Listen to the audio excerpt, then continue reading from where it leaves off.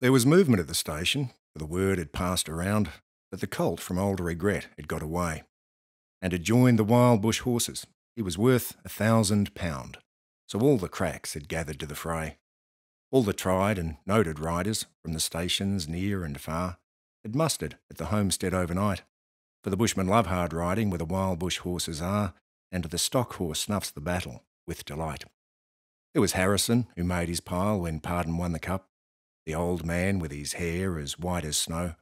But few could ride beside him when his blood was fairly up. He would go wherever horse and man could go. And Clancy of the Overflow came down to lend a hand.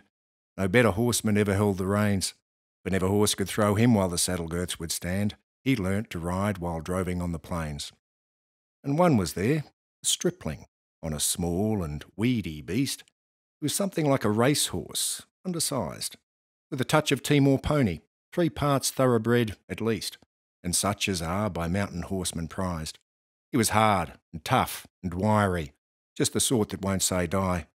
There was courage in his quick, impatient tread, and he bore the badge of gameness in his bright and fiery eye and the proud and lofty carriage of his head.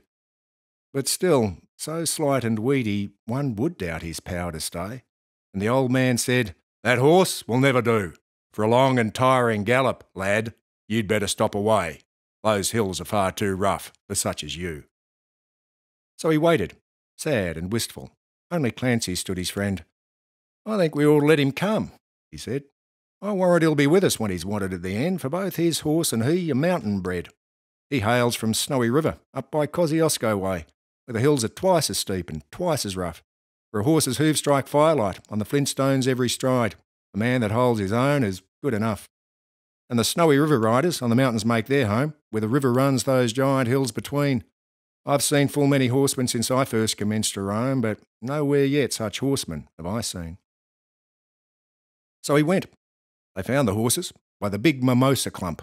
They raced away towards the mountain's brow, and the old man gave his orders Boys, go at them from the jump. No use to try for fancy riding now. And Clancy, you must wheel them. Try and wheel them to the right. Ride boldly, lad, and never fear the spills. For never yet was rider that could keep the mob in sight if once they gained the shelter of those hills. So Clancy rode to them. He was racing on the wing, where the best and boldest riders take their place. And he raced his stock horse past them, and he made the rangers ring with the stock whip as he met them face to face. Then they halted for a moment as he swung the dreaded lash, but they saw their well loved mountain full in view, and they charged beneath the stockwhip with a sharp and sudden dash, and off into the mountain scrub they flew. And fast the horsemen followed, where the gorges, deep and black, resounded to the thunder of their tread, and the stockwhips woke the echoes, and they fiercely answered back from cliffs and crags that beetled overhead. And upward, ever upward, the wild horses held their way, where mountain ash and Kurrajong grew wide, and the old man muttered fiercely, We may bid the mob good day. No man can hold them down the other side. When they reached the mountain summit, even Clancy took a pull. It well might make the boldest hold their breath. The wild hop scrub grew thickly, and the hidden ground was full of wombat holes, and any slip was death.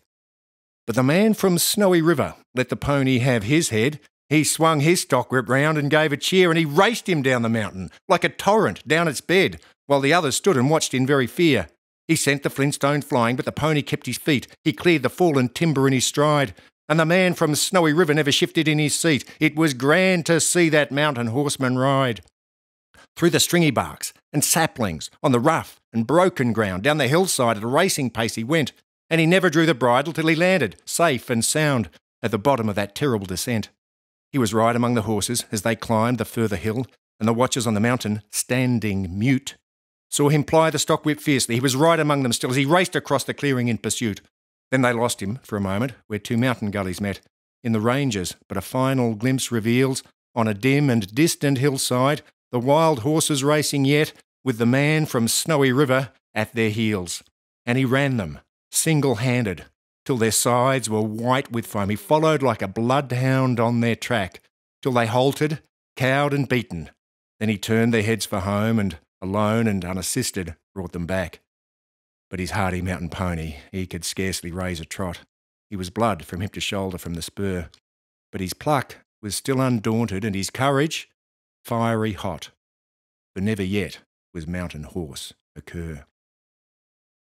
And down by Kosciuszko, where the pine clad ridges raise, their torn and rugged battlements on high, where the air is clear as crystal and the white stars fairly blaze at midnight in the cold and frosty sky, and where around the overflow the reed beds sweep and sway to the breezes and the rolling plains are wide. The man from Snowy River is a household word today, and the stockmen tell the story of his ride.